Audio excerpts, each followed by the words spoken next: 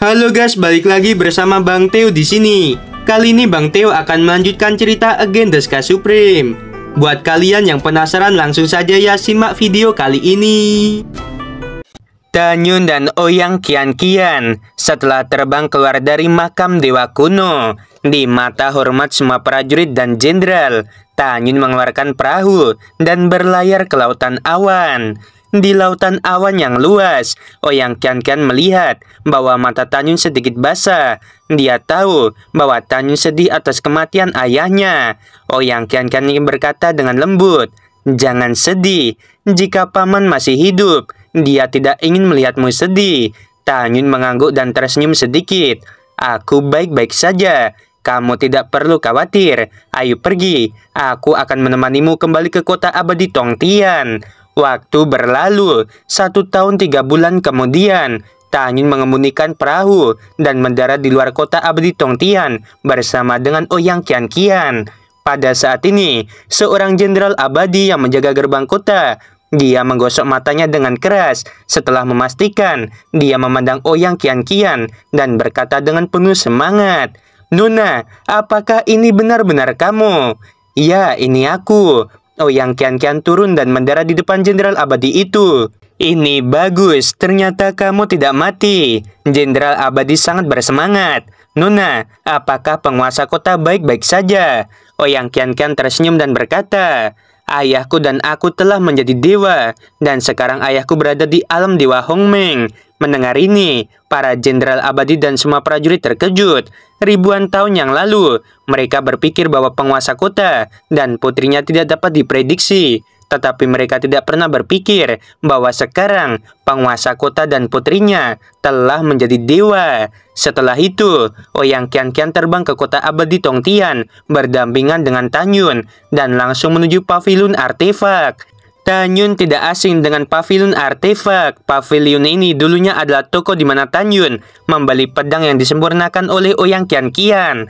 Setelah Oyang Kian Kian memasuki pavilion artefak, dia melihat seorang lelaki tua menyimpitkan matanya, berbaring di kursi goyang. Orang ini adalah San San Feng, Paman Zhang. Tiba-tiba, sebuah suara yang akrab terdengar di telinga San San Feng.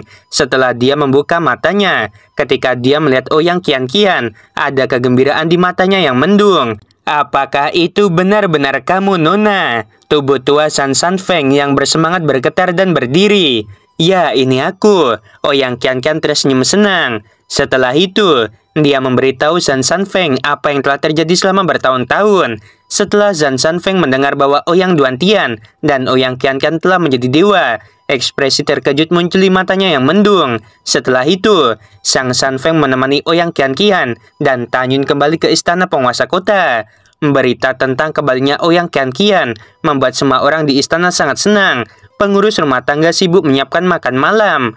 Ketika malam tiba, di perjamuan mewah, Oyang Kian Kian mengumumkan cintanya, dan semua orang dengan antusias memandang Tanyun.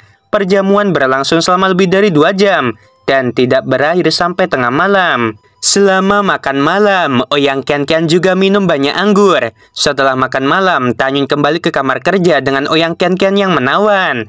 Setelah menutup pintu, Tanyun melambaikan tangan kanannya dan memasang penghalang kedap suara. Oyang Kian Kian tersenyum seperti bunga dan penampilannya yang pemalu setelah minum mengungkapkan sedikit pesona yang belum pernah terjadi sebelumnya. Tanyun, mengapa kamu memasang penghalang kedap suara? Tanyun tersenyum jahat, melangkah maju, dan melingkarkan lengannya di pinggang Oyang Kian Kian. Dia menundukkan kepalanya di samping telinga Oyang Kian Kian, menghela nafas dan berkata dengan pelan, karena nanti aku khawatir kamu akan berteriak terlalu keras. Oyang Kian Kian melebarkan matanya yang indah dan wajahnya sangat merah sehingga dia tampak meneteskan darah. Tanyun tersenyum dan tiba-tiba memeluk pinggang Oyang Kian Kian, mencium aroma keperawanan yang memasuki tubuh Oyang Kian Kian. Kian Kian, kamu jangan lupa, kamu menjanjikan sesuatu padaku sebelumnya. Oyang Kian Kian membuang muka apa yang aku janjikan padamu. Kamu mengatakan, setelah aku menemanimu pulang, biarkan aku melakukan apa pun yang aku mau padamu. Tanyun memandang Oyang Kian Kian yang berada dalam sosok anggun di lengannya, menelan ludahnya, dan melemparkan Oyang Kian Kian ke sofa. Kemudian, dalam tangisan genit Oyang Kian Kian, Tanyun melepaskan ikatan yang mengikat pinggangnya. Malam memudar, Fajar datang di sofa. Oyang Kian Kian meringkuk di pelukan Tanyun, dan dia berkata dengan lembut, Sudah waktunya untuk bangun. Tanyun berbalik dan menekan Oyang Kian Kian di bawahnya. Mata indah Oyang Kian Kian menunjukkan ekspresi panik yang menggoda dan berkata dengan gaya centil, Apakah kamu masih ingin dalam tujuh hari berikutnya? Oyang Ken Ken hampir selalu tinggal di tempat tidur dan dipelihara oleh Tanyun siang dan malam. Ahem, ahem. Hari ke-8, Tanyun membawa Oyang Kian Kian dan melangkah keluar dari paviliun, mengucapkan sama tinggal dan pergi. Tanyun mengendarai perahu dan terbang keluar dari kota abadi Tongtian, lalu menuju ke rumah Kaisar Abadi ke-9. Setelah tiba di luar rumah Kaisar Abadi, Tanyun mengeluarkan token, membuka pintu alam dewa Hongmeng dan kembali. Setelah melangkah keluar dari formasi teleportasi, Tanyun membawa Oyang Kian Kian untuk bertemu Ling Xia Tianjun. Bagaimanapun, Tanyun sekarang adalah murid Ling Xia Tianjun. Ketika dia kembali ke Am Dewa Hongmeng, dia secara alami ingin mengunjungi gurunya. Ling Xia Tianjun memandang Tanyun dan bertanya, Yuner, apakah Fang Bubai masih di Am Abadi ke-9? Tidak, Tanyun berkata, Guru, setelah murid mengirim peti mati kristal berwarna darah ke makam dewa kuno, dia Ken Fang telah pergi. Ling Xia Tianjun mengangguk dan berkata, kalau begitu, mungkin dia sedang berkultivasi di suatu tempat. Setelah itu, Tanyun dan Ling Xia Tianjun mengucapkan selamat tinggal. Tanyun membawa Oyang Kian Kian dan meninggalkan kota Dewa Hongmeng.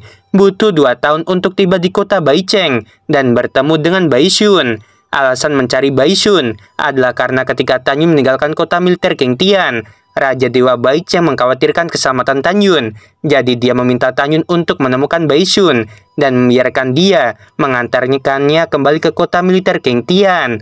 Baisun adalah Raja Dewa tingkat 4. Setelah Tanyun menyatakan niatnya, Baisun segera mengawal mereka berdua dan kembali. Setelah berpergian selama 9 bulan, mereka tiba di aula teleportasi kota tertinggi. Seorang jenderal yang menjaga aula membungkuk kepada Tanyun Tanyun terlalu malas untuk memperhatikan pihak lain, jadi dia mengeluarkan perahu menuju kota militer Qingtian yang jauh dengan kecepatan tinggi. Pada saat yang sama, jenderal itu bergegas pergi, berlutut di depan Raja Dewa tertinggi, dan dengan hormat berkata, Laporkan kepada Komandan Besar, Jing Yun baru saja keluar dari aula teleportasi. Jenderal ini tidak lain adalah saudara kedua Feng Chu, yaitu Feng Han. Ketika Raja Dewa Tertinggi mengirim Feng Chu untuk memburu Tanyun, Feng Chu memberitahu Feng Han tentang hal itu. Apa katamu? Jing Yun ternyata belum mati. Tubuh tua Raja Dewa Tertinggi terkejut. Feng Han berkata dengan jujur, Ya, Komandan Besar, Jing Yun memang belum mati. Juga, sepertinya dia dikawal oleh kepala manajer mansion utama kota Baicheng, yaitu Bai Shun. Saat berbicara, Feng Han cukup khawatir tentang keselamatan kakak laki-lakinya, yaitu Feng Chu. Melihat Tanyun kembali hidup-hidup, dia samar-samar gelisah dan firasat buruk muncul, khawatir kakak laki-lakinya akan dihabisi jika dia gagal menghabisi Tanyun. Baiklah, aku mengerti kamu bisa pergi. Setelah Raja Dewa Tertinggi melambaikan tangannya untuk membiarkan Feng Han mundur, ekspresinya menjadi sangat serius. Dalam hatinya, dia tidak peduli tentang hidup dan mati bawahannya Feng Chu. Yang dia khawatirkan adalah dia takut Feng Chu akan mengungkapkan identitasnya. Jika Jing Yun benar-benar menghabisi Feng Chu dan mengetahui bahwa dalang di balik layar adalah aku, maka dia akan memberitahu Tuan Tianjun tentang hal ini dan biarkan Tuan Tianjun menyelesaikan masalah. Sekarang, setelah Jing Yun kembali ke perbatasan, Tuan Tianjun belum mengirim siapa pun untuk mencariku. Dengan cara ini, Feng Chu tidak mengkhianatiku.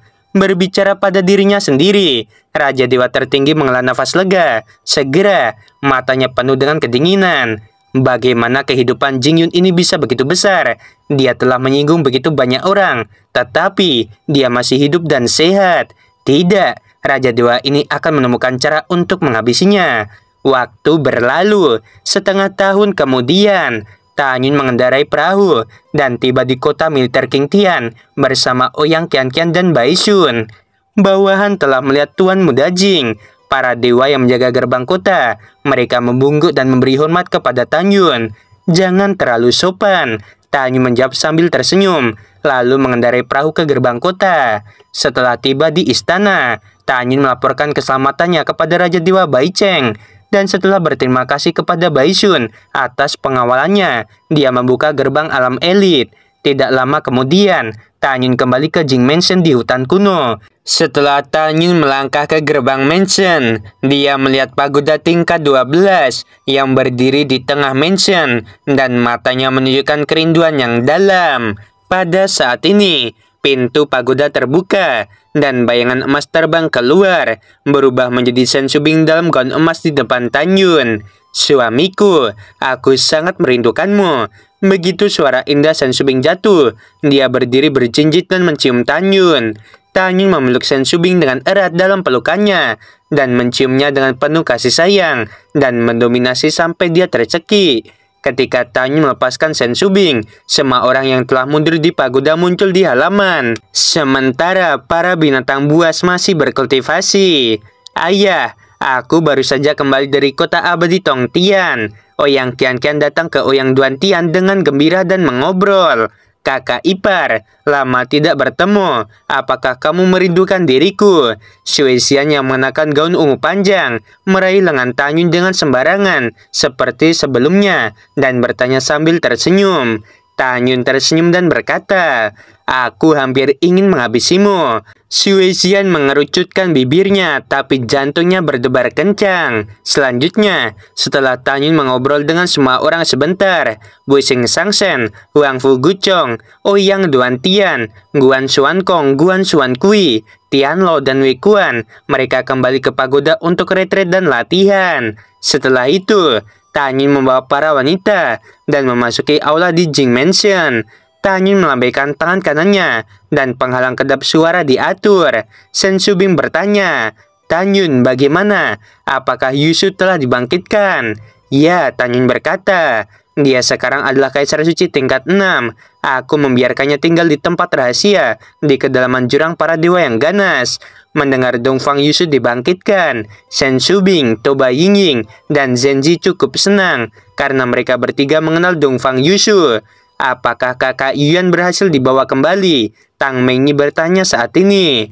Aku sudah membawanya kembali. Tang Yin berkata, aku menempatkannya di jantung Hong Meng. Tetapi jika ingin dia bangun, aku membutuhkan banyak darah dan kekuatan jiwa. Nanggong Yukin bertanya, apakah ada cara? Ya, Tanyun berkata, nanti aku akan memasuki jantung Hongmeng dan mengatur formasi pengorbanan darah dan kelahiran kembali jiwa. Ketika ada pertempuran besar dengan pasukan iblis di masa depan, aku dapat membawa Yuyan untuk membantunya melap darah dan kekuatan jiwa orang yang telah meninggal. Dengan cara ini, dia dapat dilahirkan kembali secepat mungkin. Mendengar ini, para wanita mengangguk untuk menunjukkan pengertian mereka. Setelah itu, mata Tanyun mengungkapkan kesedihan yang mendalam. Suamiku, ada apa? Dan Tesianer melangkah maju dan bertanya sambil membantu Tanyun memilah jubahnya. Tanyun menarik napas dalam-dalam, menatap para wanita dan berkata, Aku tahu identitasku yang sebenarnya. Setelah itu, Tanyun memberitahu mereka bahwa dia adalah putra dewa leluhur abadi kuno di alam semesta terakhir dan ayahnya mati sepenuhnya untuk menyelamatkan dirinya dan Yuyan. Setelah para wanita mendengarnya, mereka menghibur Tanyun. Setelah waktu yang lama, Tanyun menghela nafas. Setelah mengesampingkan kekhawatirannya, dia memandang Fang Ziking yang menutupi wajahnya dan berkata, Xiao King, ada kabar baik untukmu. Kakak, Kabar baiknya apa? Mata indah Fang Ziking penuh dengan rasa ingin tahu. Tanyun berkata sambil tersenyum. Hari ini, kamu bisa mengembalikan penampilanmu. Begitu kata-kata ini keluar, tubuh halus Fang Ziking yang bertopeng tiba-tiba bergetar, dan ada kegembiraan yang tak terkendali di matanya. Kakak, apakah itu benar? Kita harus tahu bahwa identitas Fang Ziking tidak sederhana. Di masa lalu, dia tidak hanya kaisar abadi ke-9, tetapi juga empat wanita cantik bersama dengan Uyang Qian, Senji, dan Bai Lianer. Selain itu, Tanyu dan yang lainnya juga telah melihat Fang Ziking melepaskan cadarnya. Meskipun wajahnya memiliki sedikit goresan, tetapi dia sangat menawan. Tentu saja itu benar, kata Tanyun dengan pasti. Mendengar ini, mata Fang Ziking dipenuhi dengan air mata kegembiraan dan diam-diam berkata, Kakak, tahukah kamu, di masa lalu, ketika Xiao King masih menjadi kasar abadi ke-9, aku selalu sangat mencintaimu. Jika wajah Xiao King pulih, Xiao King juga akan menjadi wanita kakak di masa depan. Fang Ziking merenung diam-diam di sini dan sepertinya memikirkan sesuatu dan berkata dengan bingung, Kakak, Bukankah kamu mengatakan bahwa wajah Xiaoqing hanya dapat dipulihkan dengan menggunakan darah anjing jiwa yang menghabisi Xiaoqing? Mungkinkah kakak telah menghabisi anjing dewa yang mengkhianatiku? Tanya menggelengkan kepalanya dan tersenyum. Kakak tidak menghabisi Fang Bubai, tetapi menangkap binatang itu. Jika ingin menghabisinya, aku ingin Xiaoqing yang melakukannya sendiri. Mendengarkan berita bahwa Fang Bubai telah ditangkap hidup-hidup, Fang Xiqing memikirkan orang tuanya yang meninggal secara tragis dan emosinya langsung hilang sekendali. Air mata mengenang di matanya yang indah dan matanya ditelan oleh kesedihan dan kemarahan. Kakak, di mana dia? Aku ingin menghabisinya. Oke guys, ceritanya sampai sini dulu ya. Hmm. Ya, makin seru nggak sih Min? Makin seru ya. Jangan lupa dong guys, like-nya ya. Like-nya nih menurun lagi nih. Gimana nih guys? Oke ya. Ya semoga like-nya naik lagi oke okay? Sebelum video berakhir Min mau bilang ah, sungguh membagongkan Terima kasih